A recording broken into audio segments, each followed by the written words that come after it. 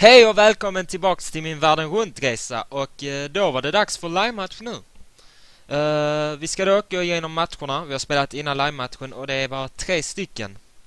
Uh, senast vi lämnade här mötte vi Dnepr och nu var det dags för Sen Sevastopol i nästa match. Uh, den matchen slutade också 0-0 efter, efter att den har varit väldigt jämn.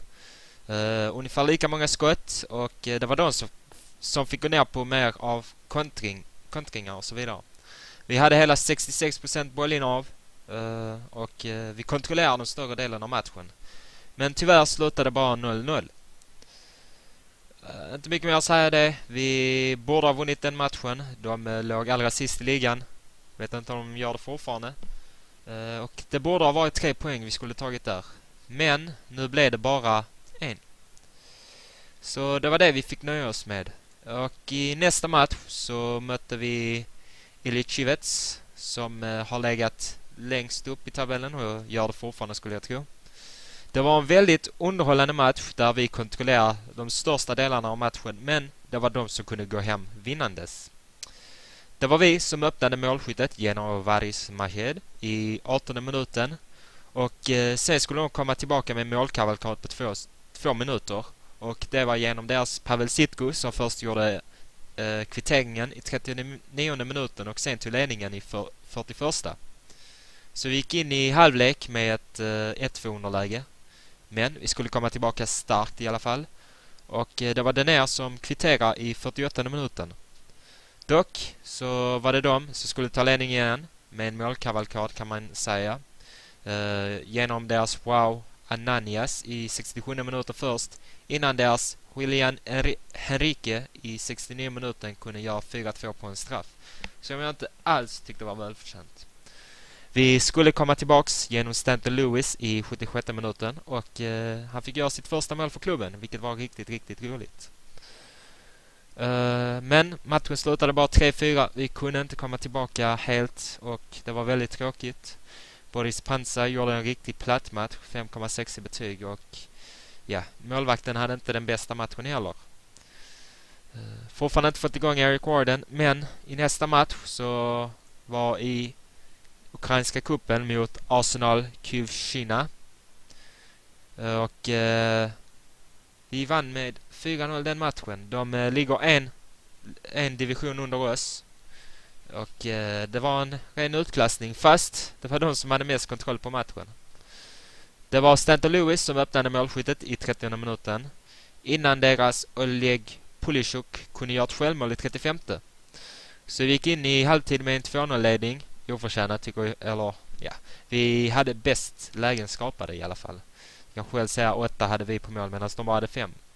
Uh, i andra halvlek kunde vår Kyrylo Kovalchuk göra 3-0 i 79 minuten och eh, inbytte Eric Warden skulle äntligen få göra mål i 90 minuten.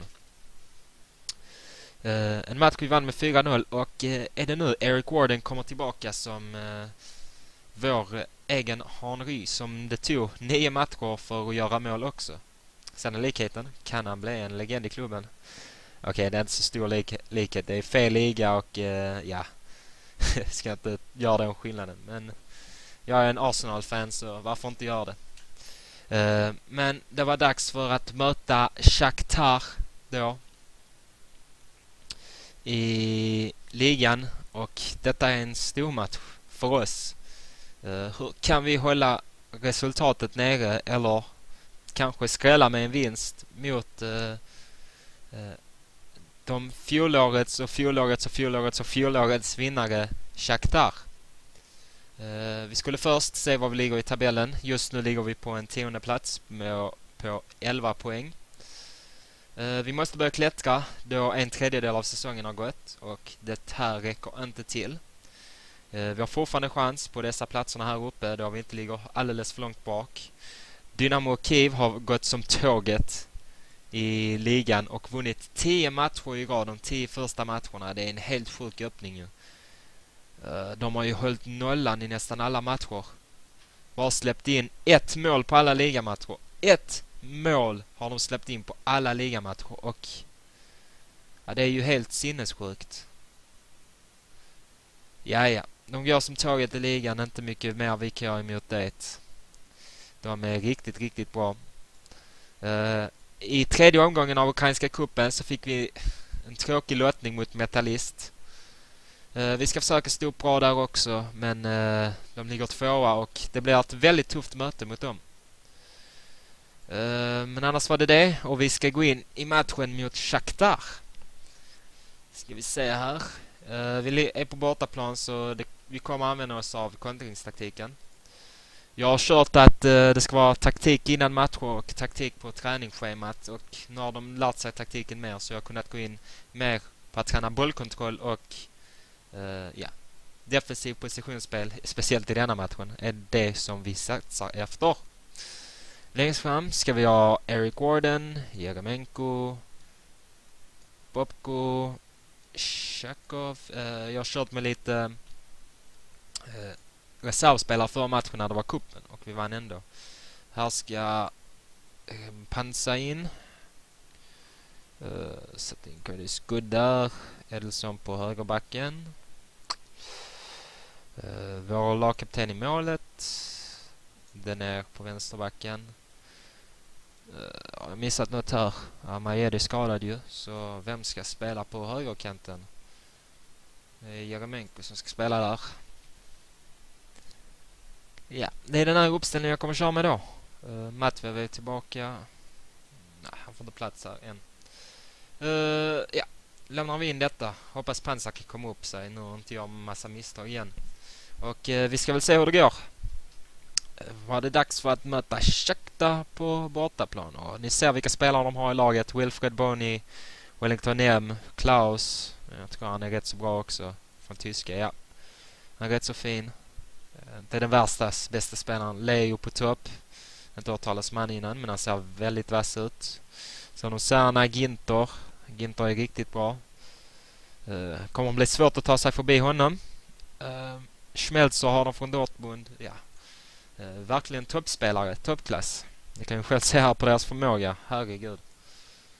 Kovalchuk får ta hand om uh, motståndarinstruktionerna medans uh, vi går in. Räkna med att vi avslutar som senast så jag tar lugnt. Så. Pensionerat. Nu måste rycka upp sig här och eh, ja, vi får se hur det går nu. Uh, ja, det får vara så. Det får vara så. Starta match. Och uh, lycka till till oss, får man ju säga. Ska skruva ner tempot lite kommer säkert bli många chanser mot vårt mål denna matchen. De börjar redan med ett mål från en hörna. Åh, oh, vad jobbigt. Alltså det känns som man ska träna på fasta situationer mot högre lag för de gör riktigt många mål genom det faktiskt. Uh, detta var surt. Jag ändrar till nyckelsammandrag istället. Får iväg bollen men ingen är där. Ingen håller kvar markeringen på Klausen. Bara står helt fritt. Åh, oh, vad jobbigt. Redan släppt in ett snabbt mål. Det börjar inte bra i alla fall. Kan vi komma tillbaka? Mm, det är det som är frågan. Och eh, vi får väl se, vi får väl se. Huh. Han har inte så många chanser här och eh, nu blir det en höjdpunkt. Är det vi som får ha en chans? Eller är det bara vi som lånar bollen en stund? Bobko till Warden. Warden spelar fram till Jakovenko. Jakovenko skjuter. Han får inte iväg den. Bobko. Eh, den är. Kan han få in den till Chakov? Ah. Var det höjdpunkten? Vi fick inte ens ett skott på mål. Eh, vi har haft en klar målchans. Var det vår klara målchans? Kom igen! Jakovenko! Ja då! 1-1! Fy fan vad härligt. Riktigt bra spel. Eh, eller ja, det är vi som bryter bollen genom Chakov, spelar fram till Jeremenko och eh, målvakten är helt ur position och eh, Jeremenko bara lägger in den. Riktigt fint mål. 1-1 står det. Och kan vi gå in med 1-1 i halvtid, det hade varit riktigt, riktigt bra. Åh, oh.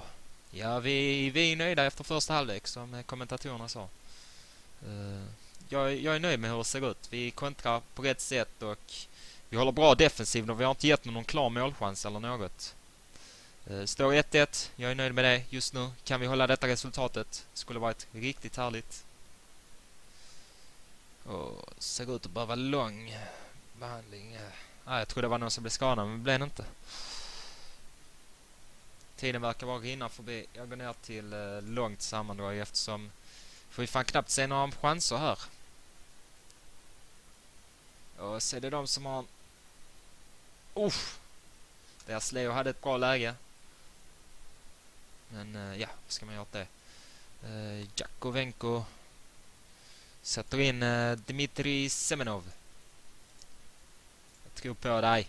Jag tror på dig mycket.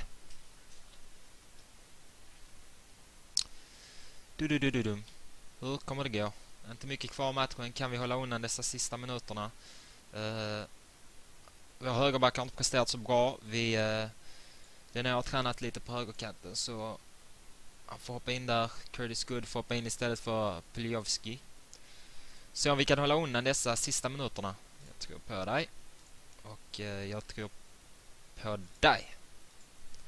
Eh, Michali reagerar bra i alla fall. Hoppas... Eh, nej, nej! Uff! Vad gjorde målvakten där? Jag trodde han skulle... Fy fan. De hade hörna här. Det är inte roligt alls. Han studsar igen. Jag gillar inte hur hon studsar. Kom igen, bort med bollen. Uff! Nej! Herregud! Ah, men vilken tur man kan ha! Skojar du med mig? Kolla detta målet. Detta är fan det snyggaste, en av de snyggaste mål jag sett på FM. Herregud, vilket mål! Men herregud vad...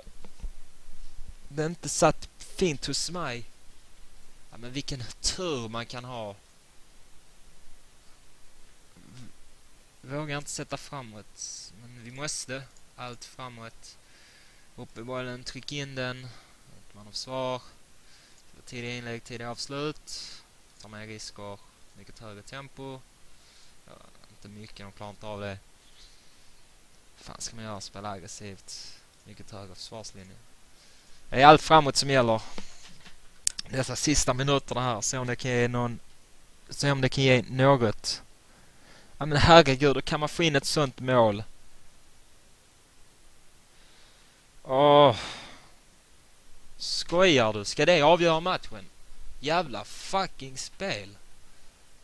Kan inte jag få såna långskott? Nej. Ja, jag kan inte klaga på deras insats. Det var vi som hade de fan de klara målchanserna. De får in en på hörna och ett jävla långskott. Hur, hur mycket tur kan man ha egentligen? Det förtjänar inte vi. Vi förtjänar minst ett oavgjort resultat här. Grabbarna kämpade hårt som fan och ja, vad fan ska man säga? Det var den matchen i alla fall. Vi tappade två placeringar, ligger på en tolfte plats nu och herregud. Shit. Ja, ja. Det var det. Ligger på en tolfte plats och eh, en oturlig förlust mot Shakhtar. Vi visade i alla fall att vi kunde stå upp bra mot dem. Vår eh, kontringstaktik funkar rätt så bra. Men eh, de ska ha sån jävla tur som vanligt. Vi har inte haft eh, den inledningen vi har hoppats på och hur ser det ut här? De är nöjda med eh, hur jag presterar med laget. Eh, jag är inte riktigt nöjd själv. Eh, vi måste komma igång bättre, men det tror jag att vi gör. Eh, det ser mer positivt ut. Taktikerna har börjat sätta sig ännu mer. Eh, lärt sig mycket av taktikerna och eh, laget börjar bli mer samspelt så jag hoppas att vi kommer igång snart. Men det var allt för detta avsnittet och jag kommer gå igenom ett par matcher nu Jag kommer nog gå igenom hela Metallurg och sen köra en uppdatering där. Och sen när serien startar igen på våren så hade jag tänkt köra en live-match mot Dynamo Kiev igen. Kan nog bli roligt. Men det var allt för denna gången. Uh, och eh, vi hörs till nästa gång väl. Ha det bra. Hej då!